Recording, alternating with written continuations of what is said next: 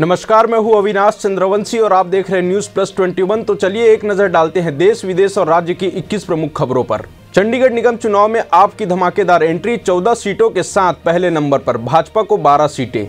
घर वापसी वाले अपने बयान पर तेजस्वी सूर्या ने जताया खेद, बिना शर्त वापस लिया। बच्चे वैक्सीन लगवाने के लिए दिखा सकेंगे स्कूल का आईडी कार्ड, रजिस्ट्रेशन में नहीं आएगी कोई दिक्कत। 18 साल के अफगान बल्लेबाज ने की भारत की धुनाई, एक ओवर में कूटे 27 रन, सात छक्के बरसाकर खड़ा किया तूफ़ान। बीजेपी के लिए हर वर्ग का वोटर ज़रूरी, जेपी नड्डा बोले, इस रणनीति में विधानसभा चुनाव में मिलेगी जीत। राजस्थान पुलिस चौकी में क्रूरता की हदें पार, बिना किसी जुर्म के महिला को थाने में रखकर रेप की कोशिश। हावड़ा नगर निगम के विभाजन के विधेयक की मंजूरी पर राज्यपाल और सरकार में घमासान। केरल में क्रिसमस पर हिंसा, प्रवासी श्रमिकों ने मचाया उत्पाद। आठ पुलिसकर्मी घायल, जीप फूकी, पचास गिरफ़्तार। महाराष्ट्र में स्थानीय निकाय चुनाव टला ओबीसी आरक्षण पर सुप्रीम कोर्ट के फैसले के बाद ही कोई निर्णय। नागालैंड हिंसा मामला में 29 दिसंबर को घटना स्थल का मुआयना करेगा सेना का जाँच दल। दौरे से पहले की यह अपील। योगी का अखिलेश पर निशाना, बोले, अब समझ में आ रहा बबुआ नोटबंदी का विरोध क्यों करता था? हेल्थ इंडेक्स में केरल सबसे अच्छा राज्य, उत्तर प्रदेश में सबसे दयनीय स्थिति।